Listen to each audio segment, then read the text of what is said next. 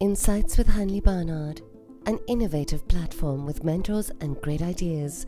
Listen to us on SoundCloud and Spotify. Click the links below. Subscribe to our channel.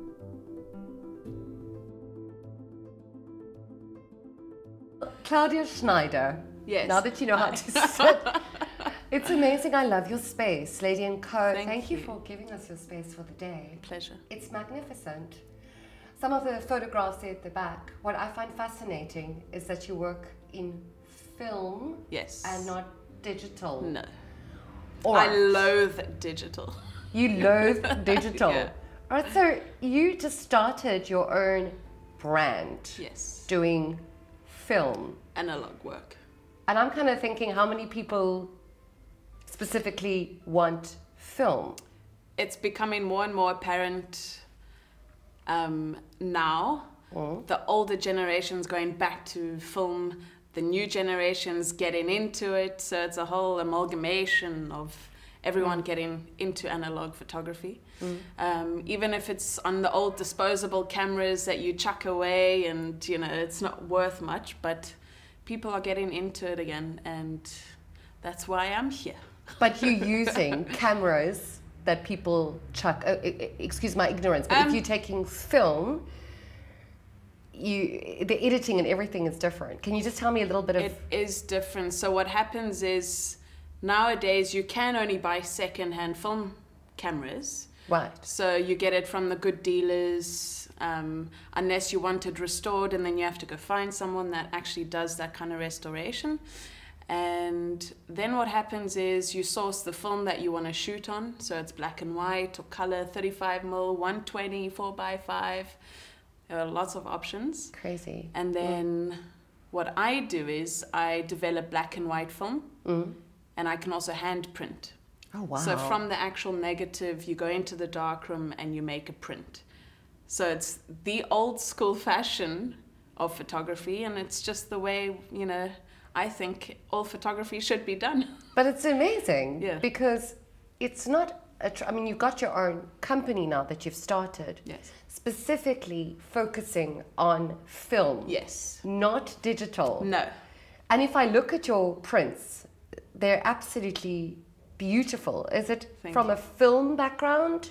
What made you So love your your niche?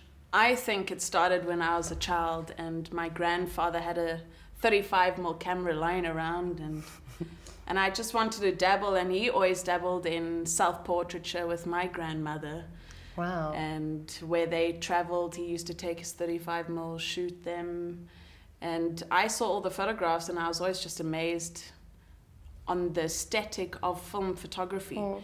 And when I went and studied um, visual communication, Mm. In third year, I decided I am only shooting on film. You specializing in the Yes. specific field. Yes. So I started developing film in 2013, and then it just progressed and mm. progressed, and I just carried on from that point, and it hasn't stopped since. But as an artist, you obviously fall in love with a certain medium. Yeah. it's a different process. It's a different process altogether. So people go and they take dig- digital photographs. Yeah. Gee, what do you think of Totally Instagram when you get a little filter? No. filter. I Filters wanna are put a fine. filter- I wanna they put a have filter on it. place, but not in film. Um, the thing with film photography is just the aesthetic. It's a different emotion. It's a different Mm. process. You put lots more love into your photographs, Yes. and you can't take a lot.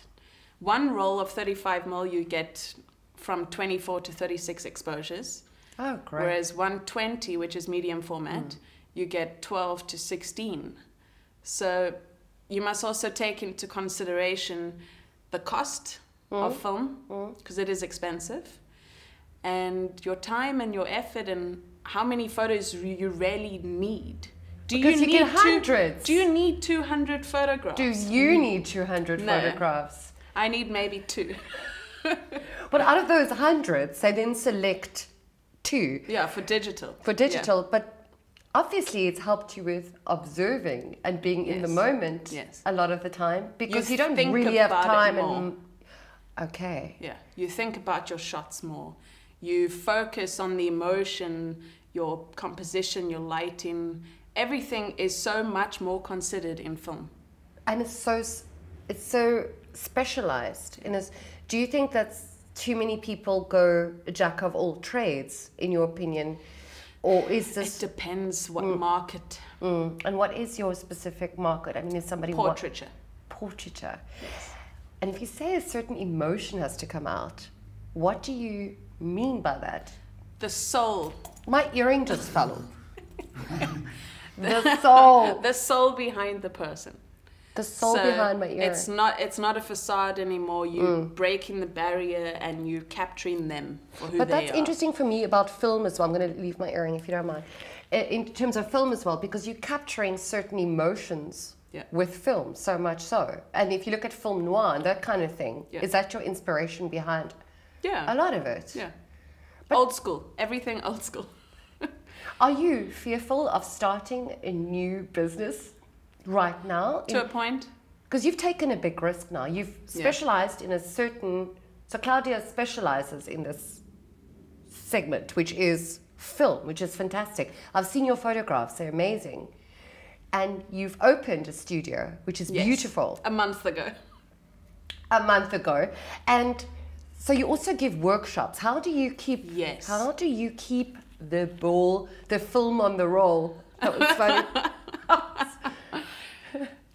I post, I think of ideas, I think of new workshops, but the ones that stick are darkroom workshops, so Yes. film processing, how to process your own black and white hmm. film, how to do your own hand printing. I teach cyanotype workshops, which is an old form of Sienna type. cyano, Cyano. cyanotype. Okay. It's an old form of photograms. So Wow. back in history, they used to do it to um, see and document the flowers or the botanical. I remember things. those photographs. They were in. You can find it's them in sun prints. Yes, It's sun prints. gorgeous. So it's chemicals. You put whatever you want on your medium. You put it in the sun, and you get prints. And it's nice for home decor. It's nice for gifting to someone. Hmm. And yeah, I, I encourage other artists to use my space to host their own workshops. But also, what's interesting about you is you keep on having to think creatively in Yes. order to survive. And I think it's not just you. I think everybody, especially here, where the the, the jobs are kind of Far and far between. so so you kind of continuously have to think of ways of Yeah. promoting your brand, Yeah. coming up with new ideas, seeing which ones work and which ones don't. Yeah. You know, And it's difficult. it is. It is. I hate marketing, but one has to do it. in marketing right now. Yeah. In marketing, but you know what I mean. It is it is tricky because your Yeah. brain sometimes gets tired. So what do you suggest for people with their own? I would say specifically creative studios in terms of keeping ahead. And I know you've only been on, uh, on Yeah. it for a month, but what have you found so far? Bring in other people to keep it alive. Collaboration. Yeah. So you invite other people You, to do you the. get lonely if you're on your own. oh, that's a nice line. So the more people you interact with, the more you just talk about everything that you do. I think, you know, the more chance you have of actually surviving as a business. Do you actually network a lot, go out and speak a lot? You don't Yeah. solely rely on social media. No, not at all. It's a lot of word of mouth. Word of mouth is important. Yeah. People forget about that. Yeah. It's super important. I know someone that just does business of word of mouth, and absolutely. And it can be a casual conversation. a, a Instagram page. Yeah. But it's about conversations Yeah. that people are interested and in. And interact with the other companies that have been established for long, Ah. build relationships with them, and see where it goes. Do you go and introduce yourself to Yes. new? Do you knock on the door and go, "Hi, Yes. Claudia Schneider"? Yes. Like Kodak, Waterstone. Okay. So they're the only ones around here that do color film developing. Mm. But all their clients come to me for black and white processing. Okay. And then all those new clients learn what I do here, and then it just grows. But sometimes people are a little bit, you know, this is my company and this is what I do, instead of holding hands with other companies, because you don't do everything, you do No, a specific Niche. niche Yeah. market. And for that, it's I think you're the only person in the you're actually the only person I know personally that does film photography, which I found fascinating seeing your stuff. So it's really about working and networking with people Yes. as opposed to be solely reliant on Social media and the little small world filter. we I'm live gonna in. filter you. yes, Claudia. No. It's all about the What do you think of those filters on Instagram in terms of it's got its place. I don't use it. But no, but that's a whole different for uh, other markets, for other yes. markets, it, it, I suppose it, Yes. is, it is kind of um, amazing. So when when and when it's great for people that don't know how to edit. it is. It's an easy form of editing. Were you an apprentice to somebody in terms of apprenticeship to build Um, where your expertise lies today? Did you learn be out of interest? Not necessarily. Mm. So after I finished my degree in visual communication, I interned for a photographer in Cape Town. That's what I I was his photo retoucher. That's it. Right. That lasted two and a half years. And Wow. ever since then, I've freelanced in between that. I've been a casting director. Mm. I've been a studio manager for advertising. So I've, I've had a, a cookie from every jar. And now you've got a big jar. And I've got a big in jar. a cookie machine that I love. It was time. So I was tired of being freelance. People take you a lot more seriously when they can come to a business I see. instead of come to my house, you can drop your film off. Uh, Specifically in what you do, freelancing is super. Yeah. And you Super also don't want everyone to know where you live. No. It crosses a boundary does. of It does. professionalism and having a bigger space where I can actually teach people is amazing because that's what I love to do. But I've always liked the beauty of a space, uh, a space that is sacred, that is yours.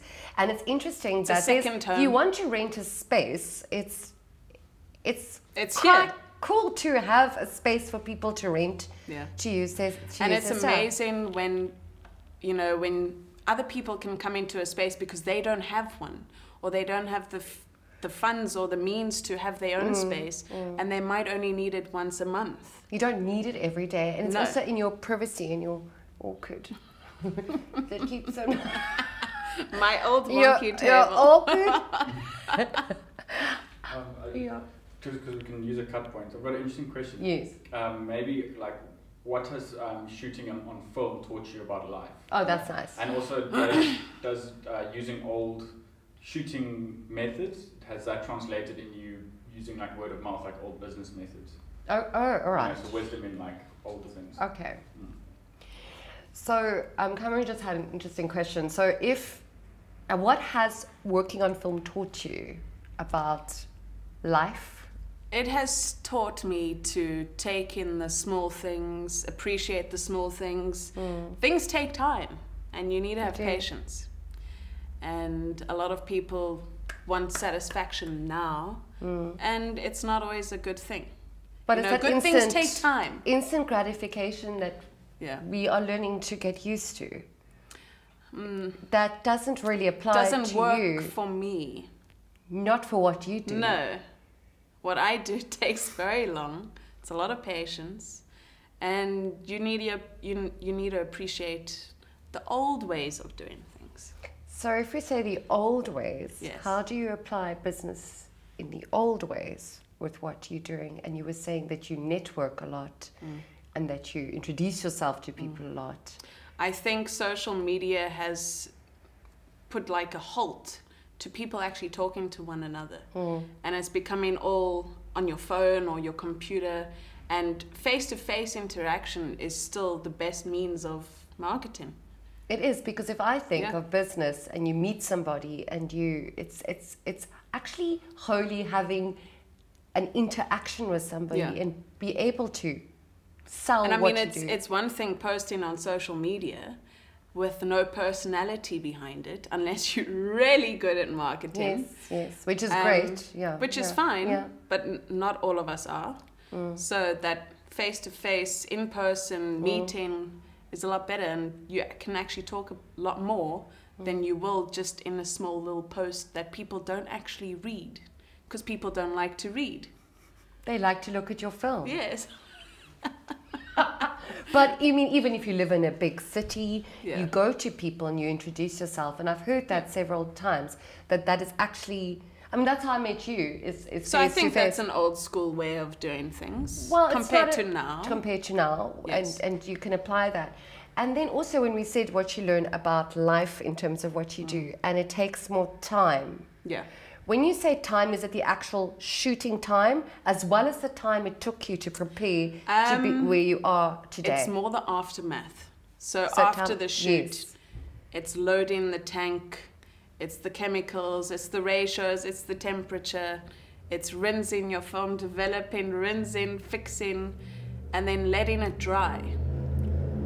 And So how- you hang it up, yes, you let it dry, and then you can touch your negatives with gloves, fabric gloves, and then you can look at your negatives, your photographs.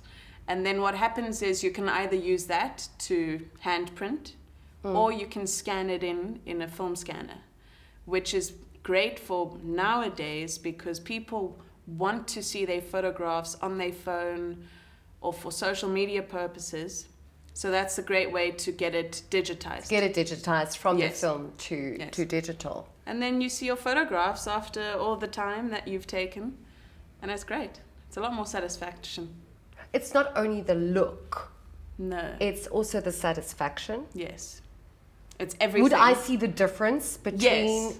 Okay, I'm seeing. Uh, Yes. specifically it's lighting, the grain. the grain, the grittiness Like behind digital it. is is pixels, Mm. whereas film is grain. So it depends on the film you're using, what type of grain, how you're developing depends on the grain.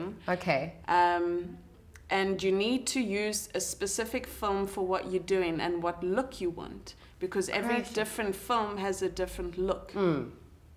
and it's just there's a lot more thought There's a lot more thought that goes behind Yeah. it, as well as the, the concept. And these you photographs can and also the framing yes. and, and all of that, it just seems to me like I can touch the person more. The person's Yeah. more alive, alive. The, the Yes. emotion is really reading Yes. through. And in terms of your photography, do you sell it? This is also an exhibition space. i do i don't Mm. advertise it on social media. no but i encourage people to come I think it's nice because then you see the space and you do see the person. yeah And you do, do see, we have a lot of people waving to studio, but you do see the person behind the camera and you put your own personality into Yes. it. I find it's hard to find photographers sometimes. Uh, so is Richard short? Richard is fairly. Okay, I think he came to look. Oh, oh Claudia Schneider. she wants to enjoy your filming. thank you And it was wonderful. Thanks And for it's lovely me to speak to an expert such as yourself with a beautiful studio that I absolutely love sitting in. thank you Wunderbar.